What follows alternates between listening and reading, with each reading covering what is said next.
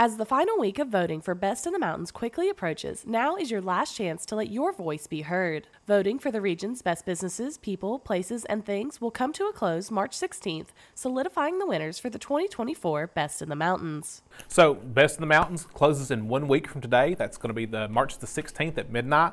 Uh, you can still vote once per day on every email address you have uh, between now and then. I always reiterate that Best in the Mountains isn't just you know something for us to do that's fun. It's something for the community to, to do that's fun.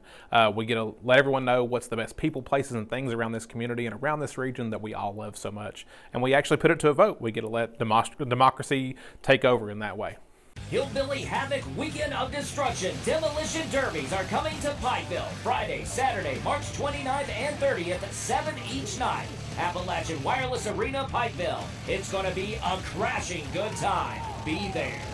With over 10,000 nominations and over 200,000 votes, Best in the Mountains not only decides the best businesses, people, and places in the region, but highlights the unique array of talent the area has to offer. Some of the things that people are voting for right now are best roofer, uh, we have a best chimney sweep, we also have best like best food, best drinks, all different kinds of aspects of, uh, of our culture uh, up for vote this time. Uh, to vote, all you have to do is go to bestinthemountains.com or any of our Facebook or our Mountaintop News property and go check that out. Click on that banner and you can vote all the way to the 16th. 16th. Voting will come to a close at midnight March 16th, and winners will be announced in the following days.